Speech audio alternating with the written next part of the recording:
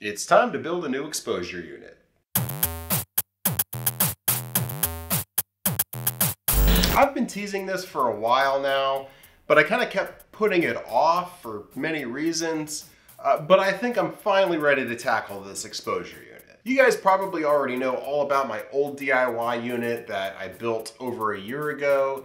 Uh, it's been working fine for me, but it has a couple of shortcomings. For one, it's too small. It can expose up to 20 by 24 screens, which is good, but I'm gonna start getting into bigger screens for poster printing pretty soon. So having a bigger unit would be great. And number two, it's not very good at exposing finer details like halftones. And I think that's because all I have is like this 50 watt LED light inside of it, and the light isn't really distributed evenly, so it's really hard to get a proper exposure uh, on the whole screen. So my new unit needs to be bigger and brighter. I want something that's high performance, almost professional quality, but still completely DIY, something that anybody could build. Believe me, I have very limited experience actually building stuff like with woodworking. I don't know anything about electrical wiring or really a lot of the stuff that I'm about to tackle in this exposure unit build. But believe me, if I can do it, I think any newcomer can do it. And after I go through how to build this thing, I want to talk about the cost. I'm sure a lot of you are wondering if you're actually going to save money building a unit like this, or are you better off just buying one? So stick around to the end if you want to hear my thoughts on that. The first thing I did was draw up some plans. Anytime you build something from scratch, it's good to have an idea of what you're doing before you actually start. So I drew up some plans, wrote down some measurements, and took note of any supplies that I would need. I based these plans on a few different exposure units that I had seen, mostly DIY units, but you know, some professional ones that are on the market. And now that I had a pretty good idea of what I wanted to build, I could actually start building the thing.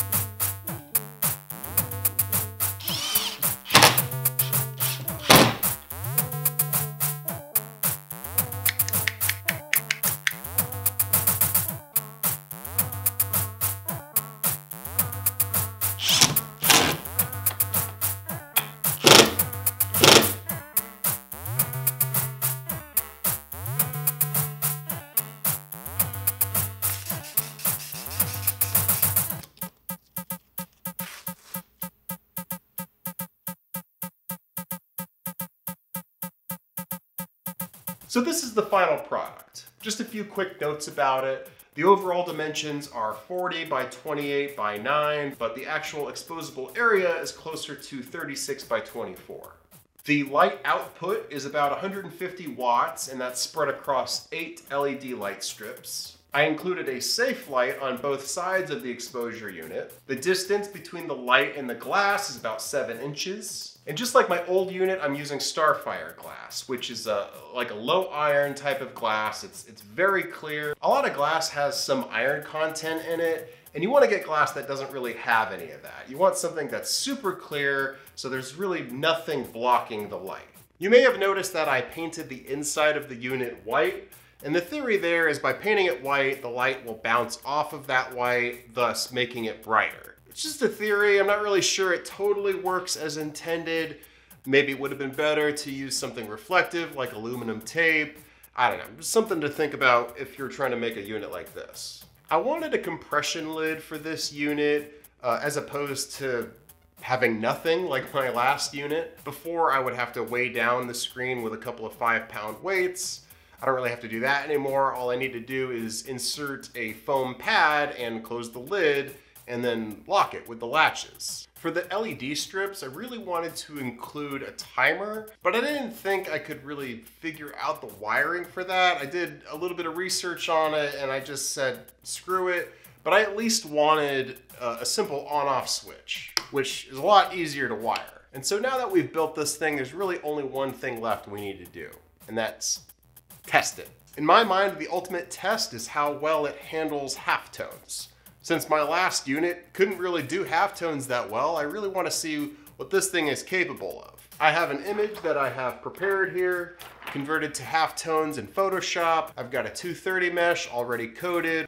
It's showtime.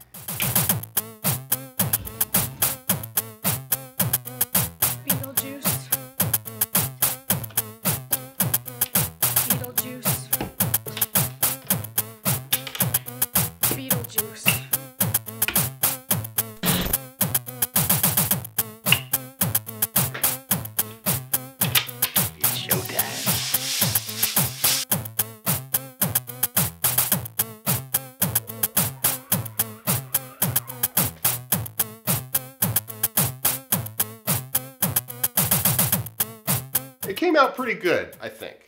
The exposure time for this ended up being about 40 seconds, and I was using Ryonet's base layer plastisol emulsion, which is a lot better than the three minutes that it used to take on my old unit. And there's no way I would have been able to get this much detail on my old unit, and especially not this consistent through the whole thing.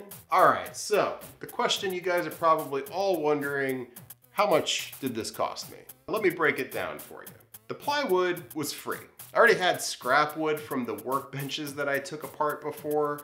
Uh, so all the plywood that I used, completely free. I didn't pay anything for the plywood. I had some one by two pieces of wood that I used, like for the inside of the lid and uh, also the lip for the glass to sit on. The one by twos ended up costing me $25. I had a bunch of spray paint. That was about $25. The LEDs came in a pack of four for $40, so eight of those ended up being $80. All the electrical stuff that includes uh, the switches, any uh, cables, connectors, uh, I think I, I bought a wire cutter slash crimper. All of that stuff altogether cost me about $50.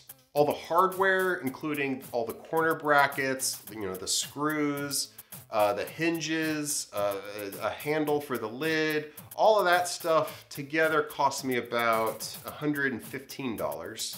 The foam pad uh, cost me $20. And then there's the glass, which I thought was gonna cost me a lot more than it did. I, I was expecting to pay two to $300 for it, but I, I ended up paying $160 for it. And then there's a miscellaneous cost, um, I had to buy some things more than once because I messed it up. All the little things to cover my mistakes probably ended up costing me about $100. So altogether, the total cost is about $575. And honestly, that's not that bad. But it is worth noting that it cost me time. From start to finish, this thing took me about two months to build. I mean, from pre-planning to cutting the wood to painting to, uh, you know, assembling everything to uh, waiting on the glass, that took forever. So I might not have saved a lot of time building it myself, but I did save money. You have to ask yourself, is it really worth it to you to build an exposure unit? I mean, for someone like me, I, I like to make stuff. I like to see what I can build. I like a challenge. So for me, yeah, it makes sense to build an exposure unit. But if you don't want to spend the time building an exposure unit, or if you don't think you can build an exposure unit, then maybe just buying one is in your best interest. And you know, there's nothing wrong with that. Whatever you gotta do to get printing, as long as the cost of screen printing equipment doesn't stop you from screen printing. Anyway, that's gonna do it for this video. Thank you for watching. Make sure you like, comment, subscribe, all that stuff. And uh, I'll see you guys in the next video.